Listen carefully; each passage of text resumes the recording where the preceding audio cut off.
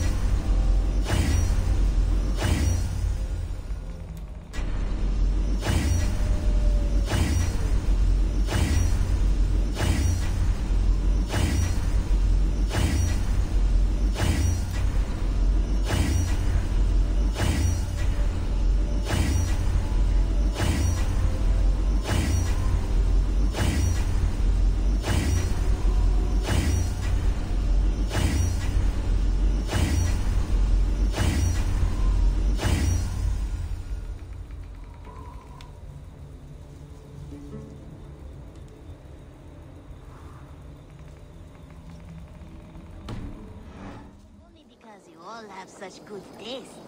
Now, this one.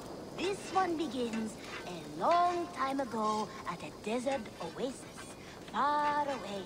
A place of mystery, wonder, and a temple to a hidden god. The guardian of this temple was a proud man, kingly in nature, but not in fact. A protector of holy wisdom.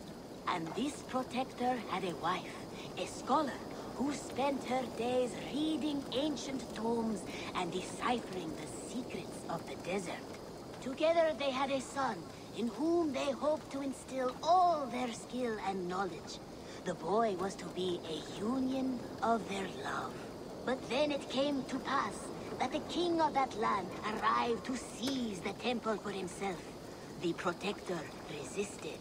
In the battle that followed, the boy was killed and the temple was taken.